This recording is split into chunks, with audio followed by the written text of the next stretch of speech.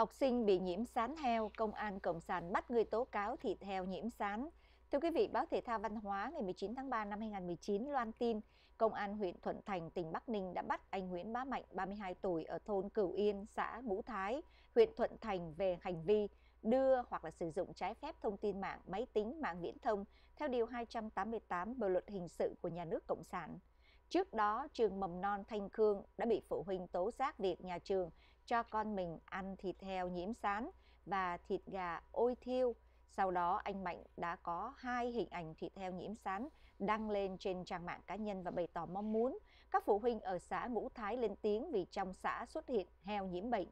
Sau khi nhận được thông tin trên thì công an huyện Thuận Thành đã vào cuộc để điều tra chủ nhân của nguồn tin và bắt giam chủ nhân. Cũng tin liên quan tới sự kiện thịt heo ở trường mầm non Thanh Khương, huyện Thuận Thành bị nhiễm sán khiến cho hàng trăm học sinh bị dương tính với ấu trùng sán sau khi đi xét nghiệm. Công an tỉnh Bắc Ninh tuyên bố trên báo chí là không có cơ sở để xét nghiệm thịt heo nhiễm bệnh được phát tán từ video clip vì mẫu thịt không còn và vì sao mẫu thịt không còn thì không được phía công an giải thích.